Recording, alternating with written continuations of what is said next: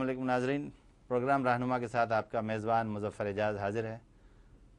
इसको अगर हम बाबा और एक रिवायती प्रोग्राम ना समझें, बल्कि हमारे साथ आपके जाने पहचाने मेज़बान शकील ख़ान मौजूद हैं, और हम एक मसले पर बात करना चाहते हैं कि शकील ख़ान गुज्त दस पंद्रह दिन से, हम बिल्कुल इनफॉर्मल सी गुफ्तु है कि दस पंद्रह दिन से पूरा मीडिया, रेडियो, टीवी, चैनल्स अखबार अमेरिका ने धमकी दे दी, पाकिस्तान ने जवाब दे दिया, पाकिस्तान ने तरदीद कर दी, अमेरिका ने एक और इल्ज़ाम लगा दिया। आठ करोड़ अस्सी लाख लोग सैलाब में बेघर हैं। सैकड़ों, हज़ारों की तादाद अब मरने वालों की हो गई है। लाखों की तादाद में मवेशी मर गए हैं। लाखों एकड़ अराजी बिल्कुल उसकी खड़ी फ़सलें तबाह हो गई हैं। और बात हो रही है सिर्फ़ अमेरिका अमेरिका की फौजी इमदाद, अमेरिका की वो इमदाद, अमेरिका की ये इमदाद। तो एक तो ये कि क्या सचमुच अमेरिका से पाकिस्तान की लड़ाई हो रही है? आपको लग रहा है ऐसा? मुजफ्फर एजाज साहब आपने कहा कि इनफॉर्मल सा प्रोग्राम है।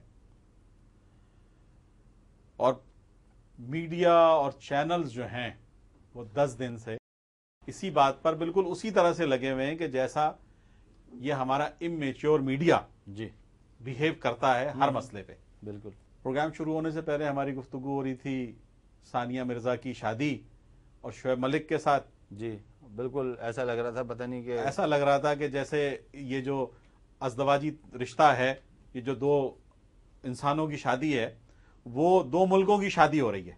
जी बिल्कुल उसकी यानी उस वक्त कोई और चीज़ नहीं देखी जा रही थी और एन उस वक्त डॉक्टर कोई और चीज़ देखी नहीं कोई और चीज़ दिखाई नहीं जा रही दिखाई नहीं जा रही। सही लफ्ज ये सिद्दीकी के खिलाफ मुकदमे की समात आखिरी मराइल में थी किसी लम्हे उसका फैसला आने वाला था, था हाँ। और उसकी कोई अहमियत नहीं थी और उस वक्त ये दिखाया जा रहा था मेहंदी आपको दिखाना वही चाह रहे थे। मैं तो चलिए डॉक्टर आफिया सिद्दीकी से भी अलग हटते हुए चलिए जी। चले बात साहब का उसी दिन इंतकाल जी बड़ी अहम बात आप आप ये देखिए डॉक्टर स्टार साहब का इतनी बड़ी शख्सियत। अच्छा फिर एक ऐस, एक ऐसी और लड़की की शादी दिखाई जा रही है जो कहती है कि मैं पाकिस्तान में रहना पसंद नहीं करूँगी। मतलब मैं पाकिस्तान में रहना पसंद नहीं करूँगी मैं दुबई में रहूँगी। दूसरे चलिए हम इस इस बहस को पता मतलब नज़र हम इस, अमेरिका की तरफ़ बहस से ये जो हमारी बासठ साल पुरानी शादी है जी। मतलब जिसमें हमारे अमेरिका के साथ ताल्लुक जो मियाँ बीवी के ताल्लुक से रखते हैं कभी वो रूटता है तो हम मनाते हैं कभी हम रूटते हैं तो वो मनाता है। मतलब ये अच्छा फिर दूसरी तरफ़ आप ज़िक्र कर रहे हैं कि जनाब एक करोड़ डेढ़ करोड़ से ज़्यादा आदमी बेघर हो गए। जो हालत है ना जनाब अली सैकड़ों लाखों मवेशी मर गए जनाब लाखों एकड़ अराजी जो है। जनाब ये मसले आपके हुक्मरानों के हैं ही नहीं। आपके हुक्मरानों का मसला ये है ही नहीं कि कितने लोग मर गए कितनी दरिया तो नज़र आया ना एक दिन तो हमारे सदर साहब जो है नवाब शाह गए थे।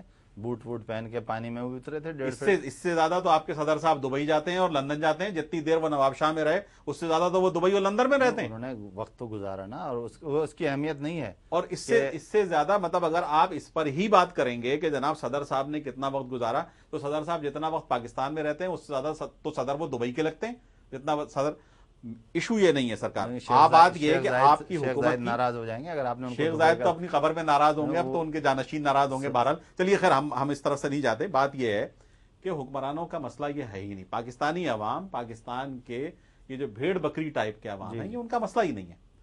जहाँ उनका मसला है आपने खुद कहा कि जनाब इमदाद की बात है। आपने खुद कहा कि जनाब पैसे आने की बात है पैसे जाने की बात है। तो ये इस इस सारी इमदाद से कि जो हमें मिलती है अमेरिका के ज़रिए उस सारी इमदाद से इस मुल्क के गरीब आवाम को क्या हासिल होता है? ये एक सवाल है कि अगर अमेरिका सचमुच नाराज़ हो जाता है अभी तो हम कहते हैं कि अजीब व गरीब से कुश्ती चल रही है और हर दो चार पाँच साल बाद लड़ाई होती है और वो कहते हैं हम ये कर देंगे हम इमदाद बंद कर देंगे हम पाबंदियाँ लगा देंगे कितनी मरतबा हो चुका है और फिर उसके बाद दोस्ती हो जाती है। अब वो कहते हैं कि अगर अमेरिका खरगोश निकाल देंगे है ना जनाब? वो जादूगर जादूगर की बात बताइए कि अमेरिका सचमुच चला गया। हाँ। एक हम एक विजुअलाइज करते हैं अमेरिका जा रहा है। जी। अमेरिका ने कहा हम पैसे नहीं देंगे हम हाँ। पाबंदी लगाएँगे हम तुम किसी से भी असला नहीं खरीद जी, सकते। जी। तो क्या पाकिस्तान मर तो क्या होगा मतलब? क्या हाँ, हो गया? वर्ष सनेरियो जनाब। मुश्किल तरीन हालात में आप बात कर लीजिए क्या हो जाएगा? यानी एक तो मुश्किल तरीन हालात हम देखते हैं कि मुल्क नहीं चल रहा निज़ाम खराब है लॉ एंड ऑर्डर खराब है सड़कें खराब हैं बारिश हो जाए तो सब कुछ उबल के सामने आ जाता है पता चलता है कि इक्कीस अरब रुपए कहाँ गए? और ये सारी चीज़ें। ना बारिश सब कुछ आज लेकिन हो जाए तो पोटेंशियल नहीं उबल के सामने नहीं आता कराची में भी उबल के सामने आ जाता है। पोटेंशियल लाहौर में भी उबल के सामने आ जाता है एक तरफ़ तो ये खराबी है दूसरी तरफ़ हम पोटेंशियल वाइज देखें कि अमेरिका चला गया। अब हमारे अंदर कुछ जान है कि हम उसके बगैर खड़े हो सकते हैं। देखिए इस मुल्क के गरीब आवाम की जब आप बात करते हैं इस मुल्क के मजबूर और मखूर आवाम की बात करते हैं यहाँ के इंसल्टेड एंड ह्यूमिलेटेड पीपल की बात करते हैं आप तो उससे तो अमेरिका का कोई ताल्लुक ही नहीं है। वो अमेरिका से क्या ले दे रहा है? मतलब उसके वो जो डॉलरों की इमदाद आ रही है वो उस तक कहाँ पहुँच रही है? मतलब कभी कभी आप फैजियाब हुए उससे? अभी अजीब व गरीब बात है फिर हमारे हुक्मरान भी हमें डराते हैं। कहते हैं जनाब अगर अमेरिका के साथ हमने मामला नहीं रखे तो हमारी इमदाद बंद हो जाएगी। और इमदाद बंद हो जाएगी तो जनरल परवेज कहते थे पत्थरों के दौर में चले जाएँगे। पत्थरों के दौर में तो यही होता था ना कि बिजली नहीं होती थी और बारिश आ जाए तो पानी पानी होता था लोग बह जाते थे। और सड़कें नहीं थी, कुछ भी नहीं था, रहने को मकान नहीं थे, लोग पानी में डूब रहे होते तो पत्थरों का दौर तो यही है। तो हमें डराते थे। फिर इमदाद मिलने लगी पाँच साल तक, और उसके बाद भी साढ़े तीन, चार साल गुजर गए, इमदाद फिर भी मिल रही थी। तो उस दौरान दो सैलाब आ चुके हैं, और हम तबाही देख चुके मुजफ्फर साहब, आप सारी बातें जो कर रहे हैं ना मतलब मैं आप हमारे दोस्त हैं, आपने कहा है कि जनाब इनफॉर्मल गुफ्तु पता नहीं आप आप भी आइंदा बुलाते हैं यहाँ के नहीं बुलाते। लेकिन ये कि चलिए, इनफॉर्मल हमें तो मुझे खुद पर्सनली हमें ये बड़ी नहीं पता कि आप मेरी जो गुफ्तु है उसके नतीजे में कहें कि यार अब आप बैठक में मत आना मेरी। मुझे तो तशवीश तो मुझे इस बात पर सबसे ज़्यादा मुझे भी तशवीश है इस बात पर। देखिए आजकल जो हम बात सुन रहे हैं कि हक्कानी नेटवर्क। जी। हक्कानी नेटवर्क पे बड़ी तशवीश है जी जी अमेरिका को और हक्कानी नेटवर्क पे हकीकता मुझे भी बड़ी तशवीश है। मैं आपको अपनी दिल की गहराई से ये बात कह रहा हूँ कि मुझे भी इस कदर तशवीश है हक्कानी नेटवर्क पर कि हम हम कैसे कैसे हक्कानियों से भुगत रहे हैं। मतलब अमेरिका ने हम अमेरिका ने पाकिस्तान के सिफारत खाने में अपना आदमी बिठा दिया हक्कानी। जी। वो मैं तो उस हक्कानी नेटवर्क से परेशान हूँ। जी बहुत बड़ी परेशानी है तो। सब हम तो मतलब वो उसको वो हमारे हक्कानी यहाँ के हक्कानी से परेशान है। हमने कहा कि यार तुमने हमारी एम्बेसी में अपना आदमी लाके बिठा दिया। वो हक्कानी नेटवर्क वो हक्कानी नेटवर्क उस हक्कानी नेटवर्क की कोई बात नहीं कर रहा। कि जनाब वो हकानी नेटवर्क जो वहाँ बैठकर हमारी एम्बेसी में बैठकर हमारे सफारत खाने में बैठकर अमरीका के सफीर का किरदार अदा करता है बल्कि बॉसराय का किरदार अदा करता है। हमें उस हक्कानी से कोई तशवीश नहीं है कि भाई वो वो भी तो हक्कानी नेटवर्क है। उस उस हक्कानी नेटवर्क की बात हमारे हुक्मरान कभी नहीं अच्छा ये शुरू हुई वहाँ से कि अमेरिका में काबुल काबुल में अमरीकी सफारत खाने पर एक हमला होता है। जी सत्तर सत्तर लोग जख्मी हो गए साहब। चंद घंटों के बाद वो बताते हैं कि ये हक्कानी नेटवर्क है और जुमला बड़ा बहुत सिग्निफिकेंट जुमला है इसको गौर से सुनिए। वो अमरीकी जर्नैल ये कहते हैं कि आईएसआई की असल कुव्वत हक्कानी नेटवर्क है गोया बदमाश तरीन इदारा आईएसआई है और उसकी असल कुव्वत कुवत जो है वो। हक्कानी नेटवर्क है जो हमारा लाडला है। यानी ये कहना चाहिए था अगर उनको कोई बात कहनी थी तो ये कहते हैं कि हक्कानी नेटवर्क की कुवत आईएसआई में आईएसआई मदद कर रही है। ऐसा लग रहा है कि आपका उनके मुँह से निकला जैसे उनके मुँह से जनरल हक्कानी निकला इसी तरह उनके मुँह से ये लफ्ज भी निकला और असल टारगेट उनका तो आईएसआई है। आईएसआई है बिल्कुल, और- बिल्कुल। तो क्या आप समझते हैं कि ये काबुल में जो कुछ हुआ हकानी नेटवर्क ने किया और पाकिस्तानी फौज ने भी उसकी मदद की? मतलब दुनिया के नेटो की इतनी सारी फोर्सेस के होने के बावजूद दस साल की जंग के बावजूद नाइन इलेवन और के तीन मरतबा अलकायदा की कमर तोड़े जाने के तोड़े जाने के बावजूद अलकायदा के चीफ को आप उसके घर में हलाक करके समंदर बुर्द करने के बावजूद अगर आपकी एम्बेसी पर हमला हो जाता है उस काबुल के उस जोन के अंदर के जो सबसे ज़्यादा सेफ़ जोन समझा जाता है कि जहाँ पर वो चुगा पोश मस्खरा भी रहता है जी जी। जिसको हम अफ़गानिस्तान का सदर कहते हैं। हम्म।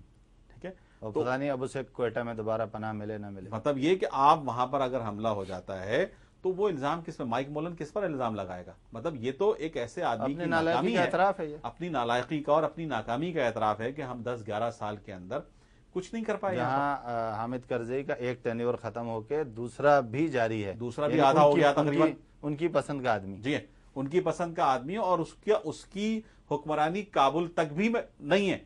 मतलब काबुल के उस टुकड़े पर भी नहीं है। मैं मैं तो उसको कभी भी अफ़गानिस्तान का सदर नहीं कहता। मैं उसको हमेशा चोगापोश मस्खरा ही कहता हूँ। यानी उसके बारे में तो लोग ये कहते हैं कि शाम छह बजे के बाद काबुल के सदारती महल के बाहर भी उसकी हुक्मरानी खत्म हो जाती है। छह बजे के बाद वो काबुल के सदारती महल के बाहर खड़े होकर भी कोई काम नहीं कर सकते। जो कुछ करना है वो अंदर जाके करें। अच्छा पता नहीं छह बजे से पहले वो क्या करता छह है? बजे से पहले कम से कम मूवमेंट हो जाती होगी सौ अच्छा। गाड़ियाँ आगे सौ पीछे बीस दाएँ तरफ़ और बीस बाएँ तरफ़। हम तो यहाँ हमारे पास भी तो इस तरह के मस्करे हैं ना। जनाब ये ये जो हमें बार बार डराने की बात है अगर एक मरतबा अल्लाह करे ये जो ये जो एक और प्रैक्टिस होने जा रही मुझे है। क्या बुरा था मरना अगर एक बार एक होता। बार होता मतलब हम कम से कम एक मर्तबा एक दफ़ा। जो कुछ भी करना है वो गुजर जाए हमारे ऊपर। अमेरिका कहता है खित- पाकिस्तान खत्ते में कशीदगी बढ़ा रहा है। हाँ हाँ। हमने हमला किया सितंबर 2011 से पहले कशीदगी कहाँ थी? मतलब अमेरिका में हुआ ना जी नाइन अलेवन जो है उस दो 2001 से पहले सितंबर 2001 से पहले खत्ते में कशीदगी। अच्छा खत्ते में कशीदगी अगर हम बढ़ा भी रहे हैं तो अमेरिका तो कई हज़ार मील दूर से आकर यहाँ पर कशीदगी बढ़ा रहा है। है? यहाँ अच्छा और फिर ये ये कि वो अपने वो इस खत्ते का मॉनिटर अपने एक ब्लू आई चाइल्ड को क्यों बनाना चाहता है? कि वो यहाँ पर इंडिया को अपना मॉनिटर क्यों बनाना चाहता है इस खत्ते का? जिस तरह का बजाहिर ज़ाहिर हो रहा जी, जी। है कि अफ़गानिस्तान में इंडिया के इतनी इतने कमर्शियल अटैचीज का आना जगह जगह उसके कौंसिल खाने खुलना वहाँ से इंजीनियरों की और डॉक्टरों की और मुख्तलिफ़ लोगों की तकरीबन तेरह फ्रंट ऑफ़िस हैं। उनके ऑफ़िस हैं और उसके उसके उसके उसकी उसके आड़ में उसकी रॉ का आना वहाँ पर। और अब उन्होंने खुलकर कह दिया है कि पाकिस्तान के बजाय भारत को फ्रंट लाइन स्टेट बना लिया जाए। मतलब वो तो वो तो उसको इस खत्ते का मॉनिटर बनाना चाहता है ना कि इस खत्ते में तो उसको मॉनिटर सवाल यही है इसका मतलब ये हुआ कि ये सवाल सिर्फ़ हमारे सामने नहीं है। हमारे जिन हुक्मरानों को अस्करी और सियासी क्यादत को धमकी दी जा रही है और कहा जा रहा है कि आप जिम्मेदार हैं आप तशद फैला रहे हैं तो उनके मुँह से ये खामोशी का बॉयकॉट क्यों नहीं होता कि वो कहें कि जनाब आप क्या लेने आए हैं? इसलिए कि वो पेरोल पर आए हुए लोग हैं। मतलब आप हुक्मरानों की बात तो देखिए मेरे सामने कम अज कम हुक्मरानों की बात ना किया करें आप। मतलब आप हुक्मरानों की बात करते हैं तो मेरे जहन में यह आता है कि शायद आप हमारे वॉयसरॉय की बात कर रहे हैं।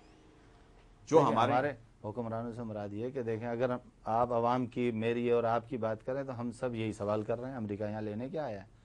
नाइन अलेवन के बारे में वाशिंगटन पोस्ट ने 6 सितंबर को खुद लिखा कि सद्दाम हुसैन ने तो ट्विन टावर्स पर हमला नहीं किया था और उसके पास से weapon of mass destruction W बरामद भी नहीं हुए। गोया उसने यह एतराफ़ कर लिया कि दहशतगर्दी के खिलाफ नाम नेहाद जंग, सब फ्रॉड है। ये वाशिंगटन पोस्ट का आर्टिकल है। इसका मतलब यही हुआ कि वो जो कुछ उसके बाद हो रहा है। यानी अगर 2900 लोगों के मरने के बाद इस वक्त दो लाख साठ हज़ार लोग दुनिया में मारे जा चुके हैं उस 9/11 के उससे, उसके नाम पर। और अब उसके बाद दूसरी और तीसरी चीज़ें कि अब उसके बाद उन्होंने कहा मुल्ला उमर, उसके बाद उन्होंने कहा ये अहमद जवारी उसके बाद उन्होंने कहा जी अब वो तीसरे नंबर का आदमी और चौथे नंबर का आदमी, अब उन्होंने कहा खानी नेटवर्क तो ये तो सिलसिला कभी ख़त्म ही नहीं होगा, लेकिन उनका कोई इल्ज़ाम सच्चा साबित हुआ? देखिए, अब ये बात तो बिल्कुल दुनिया में अजहर में शम्स है कि ये नाइन अलेवन का वाक़ हो, या वेपन ऑफ़ मास डिस्ट्रक्शन का वाक़ हो। ये सारे दुनिया के मुख्तलिफ़ हिस्सों में, और स्पेशली मुस्लिम वर्ल्ड के, उन हिस्सों पर कब्ज़ा जमाने की बात है कि जो मादनियाती तौर पर एक रिच एरियाज़ हैं। और वहाँ से वो किसी भी तरह से अमेरिका उन जगहों पर कब्ज़ा जमा कर और अपने अप, अपने आप को वहाँ तो ये उस सवाल का जवाब तो मिल गया कि मादनियाती तौर पर रिच एरिया है पाकिस्तान के पास। लिहाजा अगर अमेरिका चला गया के पास। और पाकिस्तान के पास तमाम चीज़ों का कंट्रोल आ गया अपनी चीज़ों का अपनी चीज़ों का कंट्रोल आ गया तो अमेरिका के जाने के बाद हम मरेंगे नहीं। नहीं हम तो नहीं मरेंगे इंशाल्लाह इसलिए कि ये मुल्क जो है इसको तबाह करने वाले ज़रूर मर गए वो ज़रूर बर्बाद हो गए।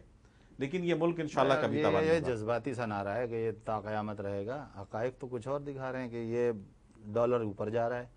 तबाही हमारी मुकद्दर है रुपए की कीमत कम हो रही है पैसे नहीं है बुनियादी सहूलतें नहीं है पीने का पानी नहीं है। इस आठ करोड़ अस्सी लाख लोगों में से इस वक्त सिर्फ़ दस लाख लोगों तक इमदाद पहुँच सकी है सैलाब जदगान में। आप अंदाज़ा करें कि क्या सूरत मतलब तो वो जिन तक इमदाद नहीं पहुँची तो क्या वो मर गए लोग? नहीं मर तो नहीं गए लेकिन ये मतलब कम अज कम उनके अंदर ये जज्बा तो पैदा हो कि वो अब खुद ब खुद खड़े हो सकते हैं। वो खुद आगे बढ़ वजह सकते शकील साहब बात यह कि हमारी गुफ्तु इनफॉर्मल है लेकिन एक बहुत ही फॉर्मेलिटी है वक्फा। तो हम एक छोटा सा वक्फा लेते हैं। नाजरीन हमारी गुफ्तु जारी है और एक छोटे से वक्फे के बाद हम इंशाल्लाह फिर गुफ्तु करेंगे तलाश करेंगे कि अमेरिका के आने से क्या मिला उसके जाने से क्या मिलेगा। हमारे साथ रहिएगा।